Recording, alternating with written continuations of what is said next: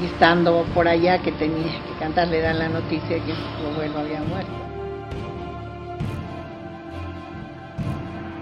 A veces no necesitas tener toda la lana del mundo para saber apreciar qué es lo que es importante, ¿no? Pero yo sí, yo sé que sí, sí sentía miedo. Al dedicarse a esto no, no puedes tener a lo mejor la vida personal que quisieras. Me han enseñado más de lo que yo creo que yo les haya podido dar a ellos.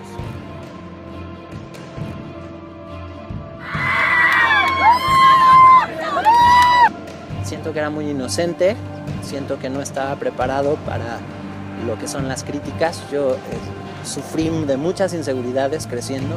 No, sí, pero procura no hacerlo tanto porque sí se, se nota. Desgraciadamente en esta carrera el show debe continuar.